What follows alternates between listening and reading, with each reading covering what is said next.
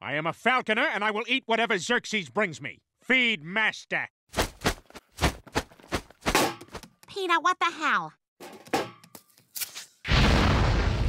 For Xerxes, every meal is a pageant.